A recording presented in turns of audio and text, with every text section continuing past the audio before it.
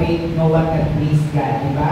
Hebrews chapter 11, verse 6. So, kaya ano man, Hebrews chapter 11, verse 1, faith is the substance of the things that are known or unseen. Yung mga bagay na hindi na nakikita. But what is the real saving faith? Ano yung tunay na paniniwala na maghahatid sa atin sa katagumpayan or kaligtasan? So, in order to know what is a saving faith, we must learn what is not. So, inahanglan natin kung ano wala.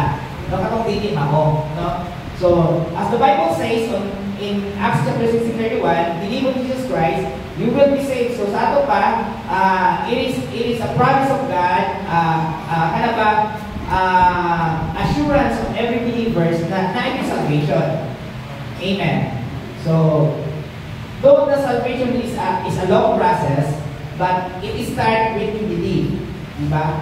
In Romans chapter 10, verse 17, ang mo niya, gawas siya kung way mawali, walay magtuo. Diba? So sa pagtuod yun, magsugod, ano nga mabuhat ka, aron mo sako pa sa kaluwasan. Ano niya abot ni kaluwasan? So, ano ka kinahangan ka mo balik na nga pagulunan in order to share to somebody. No? as we grow further in our Christian life, we need to, to learn what are the, the basic substance of salvation.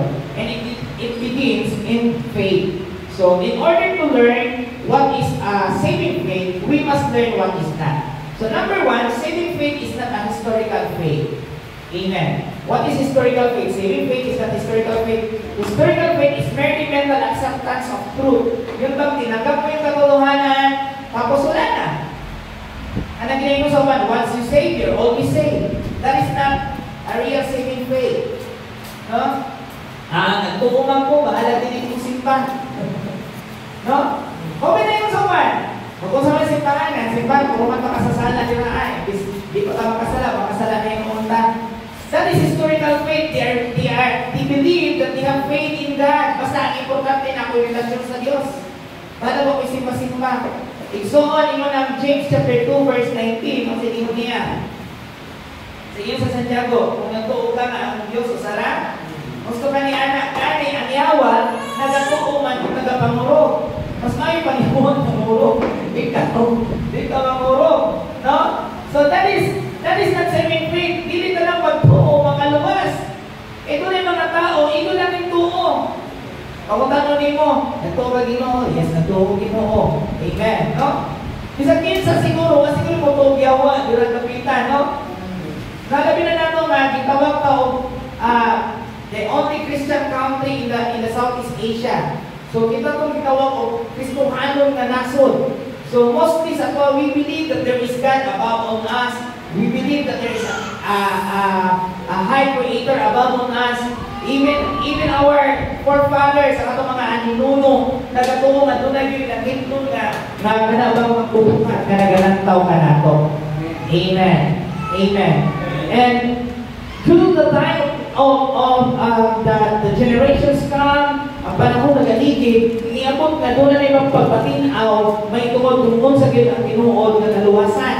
Nagsugod kini sa pagtuo, o dili na kita lang pagtuo, musang ko itong damitan. Matthew chapter 7, dili ang tanan na tawagan ako bilog Ginoo makasulod. Kaya ano man, historical faith is not a saving faith. Amen. Yun bang kagaya ng mga kapatid natin na, na mga mga practice, di ba? Once they believe, isa daw, kung sinuhato nimo, basta predestined ka na. Dili nga ng Diyos. Amen. Dili nga ng Ginoo nga, Ah, kay ikaw na tao ka nga luwason, usang pa magka, magayamukat ka, luwason yung kas ginoo. Dili nga ng ginoo, ganyan naman, ikaw ka siya, work out your own salvations with trembles and fear. Amen. Sa ano pa, dili predestination at sa kaluwasan. It needs to work out. Amen. So that's why not every believers can come into the victory, can come into salvation in ano man. Doon ay mga tao na inspired by the Bible ang ilang, pag, ilang pagtuo. No? Kung important mo sa dalang pag-versikulo sa imuha. No? Kung imong istorya mo, mas daghan pa mga historical background ang ibaw, ano sa imuha. But they are merely historical faith believer. Amen. Kung ano man, okay lang sa ilaha makasimba, okay lang kung dili. Okay lang magkinabuhin Kristohan, okay lang dili. No? Okay lang nga, okay lang nga, kada ba, uh, magkinabuhin balaan, okay lang dili. That is not a saving faith. Yes, faith alone, according to Ephesians chapter 2 verse 8, can save you. But what is the saving faith? Saving faith is not historical faith. Amen. Hindi pwede na tinanggap mo lang, naniwala ka lang, tapos wala na. It's not the end of all things to when you believe. Amen. But it is the beginning of the things that you need to know in order to be saved. Amen. Kasi yung iba, uh, inaakala nila, pag may paniniwala na, ligtas na. Kapatid, mali po yun. Dapat sa paniniwala nagsisimula ang kaalaman kung paano maligtas at matanggap ang katotohanan. Amen. It's not the end of all things when you have faith. It is the beginning of all things in order to come into salvation. Amen. Yun po yung klaro na ako ba yun, ah, nagtuon ako, luwas na ko. No? Inumin na yun, ah, hindi naman kinahanglan, kung ano buhato, kung ano buhato, kay, para maluwas, kay iko ng pagtuon na luwas na ka. Gamito tayo ng versikulo sa Ephesians chapter 2, verse 8, Daganan tayo sa 9, kadili sa inyong maayong buhat, kabutang nga luwas, kundi ligasan ini sa Diyos, aron walay usa na magpasigarbo. Ang pangutana, did you really understand what is the faith all about? We must learn what is faith all about. Hindi pwede na pag sinabing faith, pag sinabing paniniwala, yun na yun. Hindi yun yung kabuuhan ng lahat ng nalalaman mo. Ika na, Faith the substance of the things that unseen. May mga bagay magdarating. According to some some um, interpretations of the Bible, to the things that needs to come on. Sabi pa another interpretation of the Bible, faith is a substance of the things which come on. Yung mga bagay na darating pa. Kaya hindi po nagtatapos lahat sa paniniwala. Bagkos ang paniniwala ay siya panimula para makamta natin ang tunay na kaligtasan. Amen. Amen. So, in order to learn what is saving faith, saving faith is the historical faith. Pangalawa, there are temporary faith. What is temporary faith? In Matthew chapter 13, verse 20 to 21, anong sabi ng Biblia? Matthew chapter 13, verse 20 to 21. Praise the Lord.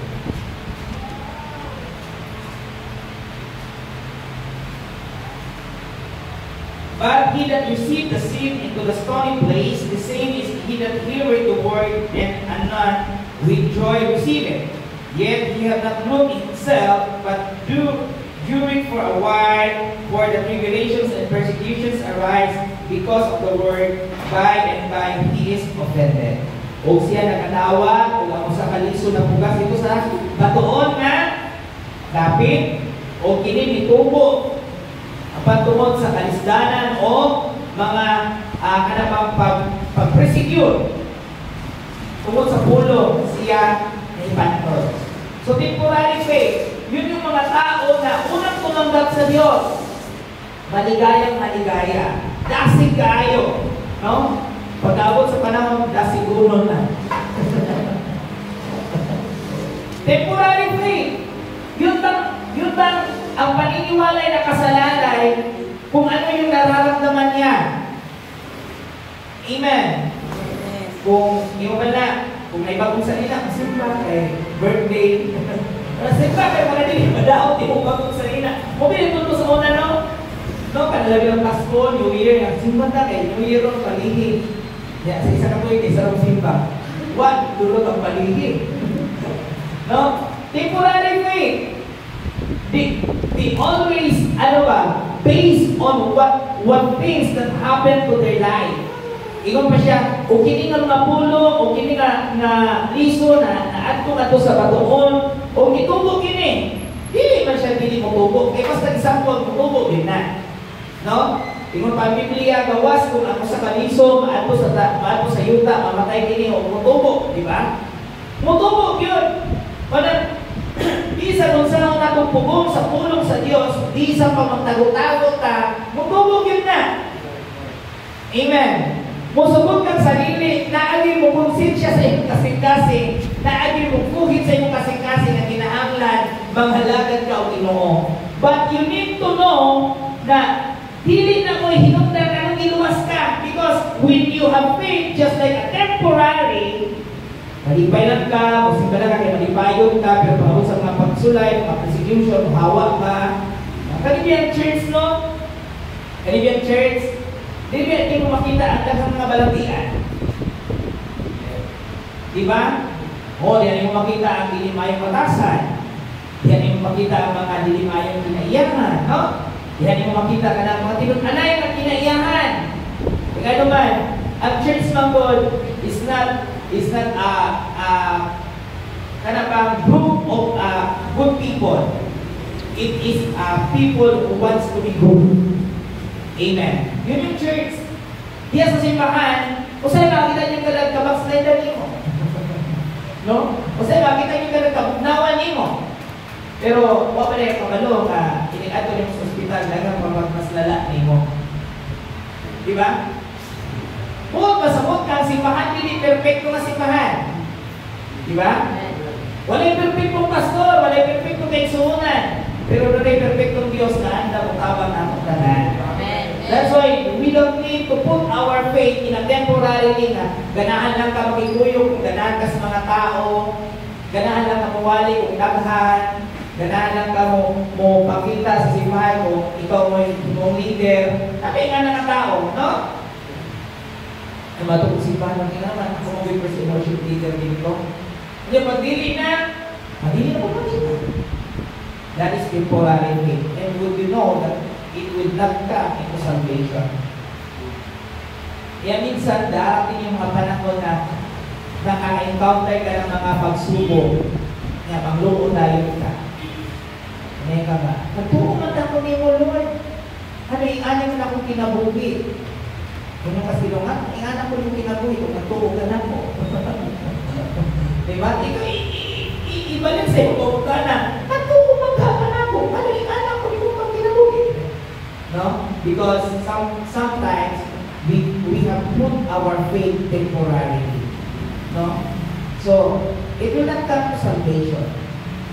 Though we are saved by the blood of Jesus, though we are saved by the name of Jesus, but remember, pag huyang imong pundasyon, huyang yun ka nakapakot sa imong Tama?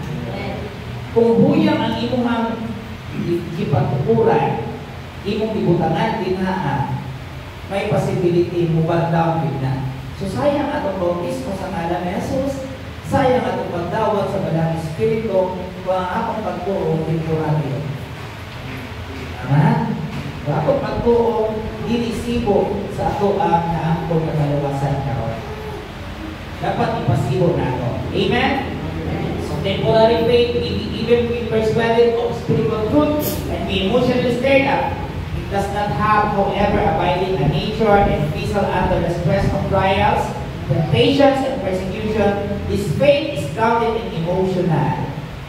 Yun yung temporary faith, emotional na nagdadala. Hindi talaga siya totally grounded, hindi talaga siya totally rooted. Tama? Uh, emotion lang ka. Matingala ka, protein lang ka. Sabihin mo nakadawat sa Spirit Santo, bulagan din po iyan. Bulagan din ko, eh, Bulagan din ko yung pastor. Bulagan ko yung So, usahay, ano may anak ako, usahay sa'yo, mo rin ko masaya sa simbahan. At manina ka, kung ang among relasyon, ah, doon sa ginoo, may nag-struggle na. Katong wala pa, layo yung ginoo. No? Kasi yung ano yung tao sa to say, sa to say, most of the people who believe in God, They will come closer to God when they face struggle. No? Kung ilan ka nagkakaroon ng mga mga mga mancha, nagkakaroon ng mga lamat, sa papa tuluyan na kumakapit sa Diyos. And that is temporary faith. Kasi yung yung yung paniniwalang hinahanap ng Diyos is yung magdadala sa iyo sa kaligtasan. Amen. At ang kaligtasan ay hindi lamang nag, nag, nagsasabi o hindi lamang nagbubuod para sa ating self. Amen. Sa ating soul. Salvation is intended for all aspect of your life. Amen. Lahat ng aspeto mo sa buhay, kalapit doon ang salvation. Amen. Di ba? Sabi na niya, believe in Jesus Christ, you will be saved, you and your household. Ibig sabihin, buong sambahayan mo, Amen. Buong sambahayan mo ay maliligtas kapag naniwala ka sa Diyos. Kay Kristo Jesus. Amen. So, pareha na sa mga batanon, kung saan may sambahayan sa batanon, imo personal. Diba? Imo pabalingon. O, oh, imo plano nga, mag-asawa ka, luwas ka anak, kaya dili kay hatag sa Diyos mga dili para nimo. Amen. Diba? Lalo ni mong nindog sa trabaho, dili ihatag sa Diyos na matumpawa ka. That is salvation sa trabaho. Hindi lamang para sa iyong kaluluwa. It all, it all about the all aspect of your life. Yun yung salvation na sinasabi ng Diyos. Diba? Prayer ng Lord, if you pray just like this, uh, Our Father in heaven, hallowed be your name, your kingdom come, your will be done on earth as it is in heaven. Sa ato pa, even on earth, we can taste a heaven. Amen. And that is salvation's all about. That's why you need to put on the genuine, the, the, the genuine uh, foundations of your life with is faith. Amen. Yun yung paniniwala. Sa paniniwala nagsisimula ang lahat ng bagay. So, hindi pwedeng historical. Yung tanggap ka lang ng tanggap, tapos wala kang ginagawa. Ang yawa ay manang po. Tuok ituok, pero may buhat-buhat. No? Hindi po pwede temporary. Naganahan ka, kana ginayin mo sa kalibutan ko, ganahan ka na ako, ganahan ko nimo. Pero kung may gana na ako, mas labaw kung may gana nimo, dili na ng kaluwasan. And the third thing that that is not bring to your salvation is safety faith. Ano yung safety faith? Yun bang iniisip mo na bibigyan ka ng Diyos kung maghihiti ka. Safety faith yun. Di ba? Na yung bang iniisip mo na pag mag-travel ka, uh, ikip ka ng Lord. Amen. Hindi masama na magkaroon ng safety faith. Pero hindi yung tunay na paniniwala, hindi yung genuine na pwede natin paglagyan. Kasi hindi lahat ng ating hinihingi ay pwedeng ibigay. Amen. Hindi ibig sabihin na gusto kang malabo, ano yung gusto, natuo ka nga, napanatuon ka sino, anak, ano, na, dili ko masimbahan ka, nagsigigwali ko pagkadato. Ano yan, nalugay ng kasimbahan, kung yung kadadato, kung na nanluod na lang ka. No? Dugay naman po sa simbahan niya, kasi may walid ka dato. Uh, dito ka, kagarahan ka, kay, ganahan ka sa pasto, kay walid puro pag dato. Niya mo mga membro, kaubanan, puro puro dato. Oh. Kaya ingon pa nila, ingon sa kalibutan, kung gusto kang madato, uyog sa mga dato. Uh. Pero ingon pala, ako, mali ako ako. Ano ba? Ingon pala, kung gusto na ka magwapo, ah, uyog sa mga pangit. Kaya pala ikaw rin magwapo. Uh, what I mean is is, safety faith. May mga tao na nilalagay yung paniniwala, yung paniniwala nila na uh, ang Diyos ay usap magbibigay kung ano yung kalooban niya. Yes, that is good. Pero hindi yung pwede masihan ay iniligtas ng Diyos. Amen. Kasi hindi pwede na gagananan lang ni Ma'am Ginoo sa panahon na sa mga nindot niyong plano. Diba? Di pwedeng gagananan na ni Ma'am Diyos, di mo pa rin mong shield lang ang ginoo kung naakay panginanlanon. Kaya gano man, si, uh, genuine faith is not all about uh, uh, making making you rich or making you safe when you fly or when you go or whatever you do that will give, make you safety. But what is the saving faith all about? Ito yung dapat natin malaman para pag-share nato sa uban, mabalugta na makakorek na ba nga, dili nga ng pagko-sister, dili nga ng kaluwasan na, mutuulak ka okay na. Kung saan yung saving faith? Saving faith, number one, is composed of intellectual. Amen. May kaalaman. Intellectual. Dapat well-known. Amen. Dapat may basihan. Amen. Dapat naadyon siya ikanabang tinun-anay nga ikapakita na maugin niya ang kaluwasan. In Romans chapter 10 verse 17, sige mo niya.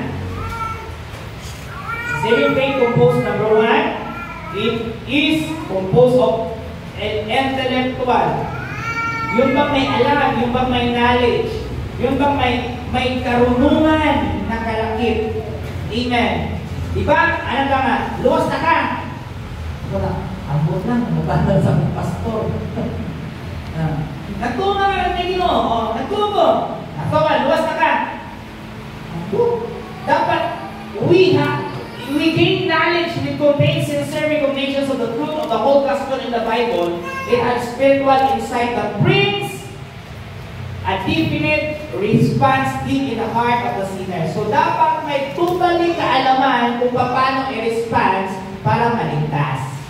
Intellectual, yung may, yung may karunungan na kalakip yung paniniwala mo. Hindi pwede naniwala ka na wala kang, pa, wala kang karunungan. Wala kang wisdom regardless of your faith. Hindi pwede ba ka sabay sa uso lang ka? No? Ano na ka ng Mga mabuti, ipamana sa among papa. Ako ka na, unsa lang pagtulunana? Ampon. Basta kay mahurag yung iso kasi pagkabata. Kana kinain mo sa uban na tumigsunan, unsay ako namatan, may ako pakamatian. Ang pangutana, o mali. Di, patay kang mali. Diba? Ay, di na ko mubalhin. Ito kung sa mubalhin-balhin.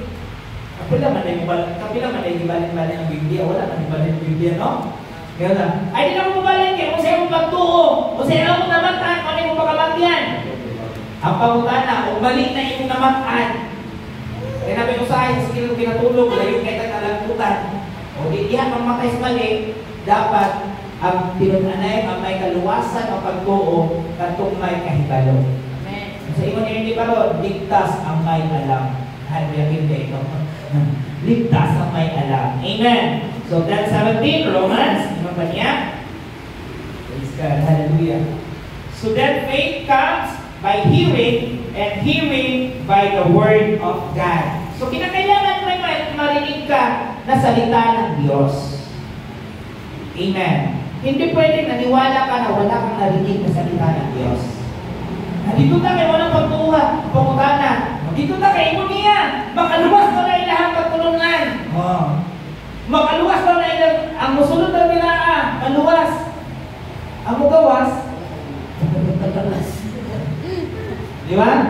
No? Kung di mo makasulod yan yung grupuhan, di mo maluwas. Ang pangutana, it will bring you knowledge, it will bring you intellectual by faith. Hindi, di ba? Kaya nga naman, dapat ang intellectual magsugod sa pagpaminaw sa pulong sa Diyos. Kung may pulong sa Diyos, di ko na unalang kaluwasan. Amen. Amen. Amen.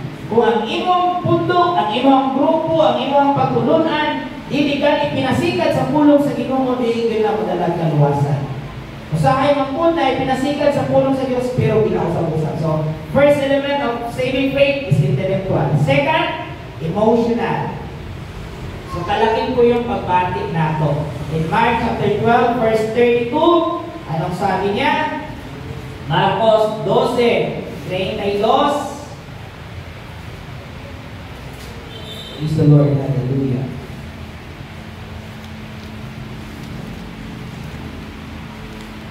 Mark 12:32. And the scribe said unto him, Well, master, thou hast said the truth, for there is one God, and there is none other. Okay. Ah, siya. Siya, kung karoon ng istriba, may siya, o matutulo, nag-ingon ka nga, ang kamatuuran, na na lang sa Diyos, o wala na ilain, o mao siya. So, emotional, buong pasabot nga, kinahanglan ang ato ang pagpangalagan, apil yun ang atong pagkahimalo o pagbati. Amen. In John chapter 1 verse 12, sa tanan nga mito binawan kaniya, siya naghatag o katungod nga mahimong anak sa Dios. Amen. So ipaapil yun nga anak ka sa Dios. Amen. Amen. ipasinati yun, ipabati yun, ipa-experience yun, nga anak ka sa Diyos. Dili itong, kana ba, kuan, kana ba, ah, mo lang ka nga ulipon sa mga punto. Kaya ang anak sa Diyos, sa ingon niya, may kagawasan sa tanang butang. Amen. Kung pasabot ang pagpangalaman sa Ginoo, may kagawasan sa tanang butang. Amen. Dili ulipon ni bisan kinsa o bisan asang babita, kung dili may kagawasan ng mga alagad sa Diyos. So dili ka ulipon ni ini kalibutan, kung dili doon tayo kagawasan ng makapangalagad kita sa Diyos. So first element is intellectual, second element is emotional, and the third element of saving faith is the will, yung kalooban.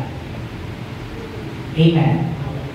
You cannot found out salvations and strongly believe nga kaya nimo ang tanan kung walay kaabang sa Diyos. Amen. Ang tunay na paniniwala ay pagsunod sa kalooban ng Diyos. Yung bang surrendering your will to the will of God. O ito na ginagamit sa uban na pagtulungan mo. Not my will, but your will be done.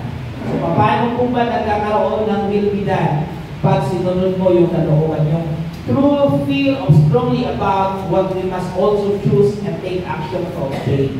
Yun yung true will. Yung bang kabalo ka kung sa tinuod, mabuhaton, sundon, himuon para sa kahimayaan sa Diyos. Amen. Amen.